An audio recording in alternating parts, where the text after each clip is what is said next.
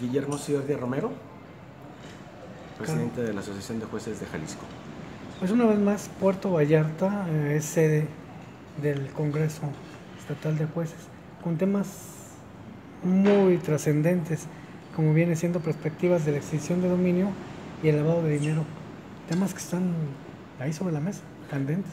La verdad es que ha sido un evento que fue planeado y se ha contado con la participación de un juez federal de Estados Unidos, un magistrado federal de Estados Unidos, un fiscal de Estados Unidos y gente del Departamento de Justicia de Estados Unidos como invitados especiales por Estados Unidos. Pero también por México tenemos al doctor Jorge Lara, al juez Damián Campos y al juez Horacio Hernández. Y todos ellos hacen en conjunto un congreso que creemos eh, es el de los más significativos, si no es que el más. Claro, pero son los temas que están en, este momento sobre la mesa y que causan impacto. impacto. Sí, bueno, esto es en todo el mundo. Yo, en la visión muy personal que he tenido como presidente de la Asociación de Jueces de Jalisco, la que me honro, por supuesto, en, en dirigir, es en darle un enfoque a todo nuestro Estado de manera internacional. ¿Por qué? Porque un juez es una persona con muchísima trascendencia a nivel internacional. No es solamente el estado de Jalisco o el municipio el que está involucrado en temas así, sino yo creo que debe de ser todo el mundo y nosotros somos jueces que resolvemos en base a leyes nacionales y también en base, en base a leyes extranjeras. Entonces, aquí juzgamos en nuestro estado situaciones de índole internacional y de índole nacional. Por supuesto que cada vez debemos estar mejor preparados, pero también la sociedad misma debe de involucrarse en los temas que son de índole internacional y no quedarnos nada más en lo regional. ¿Se está haciendo? Se está haciendo. La sociedad está cooperando, está... en ese sentido está preparándose. Yo soy muy crítico de la sociedad, al igual que la sociedad es crítico de las autoridades, y creemos que debe de ser así. La sociedad debe de exigirnos a los jueces más capacidad, más transparencia, más honestidad en todo aspecto. Pero también los jueces debemos de exigirle a la sociedad estar involucrada en nuestros temas, estar involucrado en, en sentido de estar preparados a un nivel internacional, lo que nos pasa en todo el mundo. ¿Qué pasa con el WhatsApp, por ejemplo? El WhatsApp está en todo el mundo, el Facebook, el Twitter, los periódicos, ahorita los medios eh, digitales son de alguna manera de impacto internacional. Nos sorprende lo que pasa en Francia, nos sorprende lo que pasa en Italia, nos sorprende lo que pasa en Estados Unidos y con todo su respeto nos, nos sorprende muchísimo lo que pasa en cada rincón del estado de Jalisco. Por eso mismo, Jalisco a nivel internacional está siendo visto, a nivel nacional igual. Nosotros, nuestras actitudes de cada ser humano, está siendo vista a nivel mundial. Todo lo que publicamos, todo lo que hacemos es un escrutinio ya no nada más social de la región donde vivimos. Estamos en una globalización y debemos entender esta transformación que está pasando. Por eso mismo es importante involucrarnos en todos los temas. Como jueces siempre han estado ahí en el ojo del huracán, de, se habla de recibir prebendas para favorecer a los más ricos. ¿Esto ha cambiado? Mira, la, la, percepción ha sido histórica. Yo te pudiera decir que desde que yo me acuerdo, los jueces en la antigua Grecia ya eran señalados. Los pretores, en el derecho romano. he leído un libro por ahí de España de 1300, en donde se habla exactamente lo mismo que actual, como si fuera actual. Eh, me lo regaló un libro, un querido primo, El abogado de India se llama, y, y estando leyendo, veo que las situaciones del año 1300 son las situaciones del año 2000, del año 2016.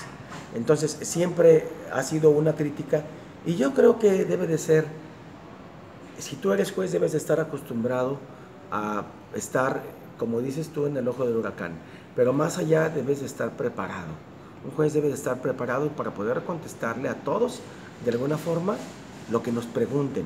Un juez que no esté preparado no debe de estar de juez. ¿Cómo están los jueces en Jalisco? Creo que cada vez mejor. El, el hecho de que la, la, sociedad esté más involucrada a nosotros nos conviene. ¿Por qué? Porque conocen a sus jueces. Vas a conocer aquí, vienen más de 80 jueces del Estado. Vienen magistrados, por cierto, que nos han confirmado bastante su presencia. Yo creo que viene, si no, más de la mitad de magistrados, lo que tampoco habíamos tenido esa afluencia de magistrados. Y para nosotros eso es un honor. Por supuesto, el hecho de que nos acompañen jueces de Estados Unidos, creo que es la primera vez que vienen cuatro a un estado y pues debemos sentirnos privilegiados. Claro. Ahora, un otro tema. Nuevo sistema de justicia. ¿La oralidad ha funcionado? Mira. Se han visto muchos casos en los que, pues, para no variar, los que se infringen la ley se ven más beneficiados. Bueno, las leyes en la defensa han estado enfocadas para beneficiar a los, a los presuntos responsables. Pero no nos debe de asustar eso, no nos debe de, preocupar. Eh, el enfoque va para todos. La nueva justicia oral, yo estoy a favor de la oralidad, no nada más en lo penal, en lo civil, en lo mercantil, en lo familiar, pero es toda una transformación que se tiene que ir haciendo. ¿Quiénes son los que tienen mayor experiencia en esto? Bueno, Estados Unidos, lo tiene Inglaterra con el Common Law. ¿Qué pasa con nosotros? Apenas estamos en un, en un cambio. No creo que exista abogado que diga lo domino al 100%. Ni los jueces, tampoco en el sentido de, de estar haciendo con una experiencia basta, porque apenas tiene muy poco de comienzo. O sea, no podemos hablar en materia de oralidad penal en México de una experiencia basta. ¿Por qué? Porque apenas estamos entrando todos en una sinergia. Tenemos que ir este caminando. ¿Cómo se ve este inicio? Es muy difícil, por supuesto que ha sido muy difícil, ha sido muy criticado. Eh, creo que ustedes han visto, más que, más que yo, que mucha gente sale porque tiene muchas fallas todavía el inicio de la, de la carpeta de investigación. Todo eso tenemos que ir fortaleciendo. Ahora, yo me comparo al sistema mexicano con un sistema europeo, más nórdico por cierto, donde las cárceles están siendo vacías. ¿Por qué? ¿Por qué somos tan distintos? ¿Por qué no podemos imitar eso que pasa en otras partes? Nos sorprende, nos llena hasta de indignación que en otras partes del mundo tengan que poner cárceles como hoteles porque no hay a quien aprender. A ver, vamos retomando esto y vamos socializándolo de una manera más natural. ¿Dónde está el problema? ¿En los jueces y en los tribunales o en la sociedad? Yo creo que estamos, sin lugar a dudas, en un problema social. ¿Por qué hay tanto índice de delincuencia? ¿Por qué tantos porcentajes de juicios civiles, mercantiles? Porque la sociedad está en una, en una forma descompuesta. O sea, al hablar de lo, que, de lo que tú me refieres de la corrupción, es hablar de históricamente de un problema que hemos tenido añejo. Eh, decía un amigo historiador que el primer soborno que vio fue cuando llegaron los españoles y le dieron, y el, y el rey azteca le dio el a los españoles como para proteger a su familia, y hablaba de un primer soborno. Decimos que España fue quien nos, quien nos eh, no digo que nos conquistó porque fue un encuentro de dos mundos llamado conquista, llamado un encontronazo, otras partes. Pero bueno, el problema es cultural.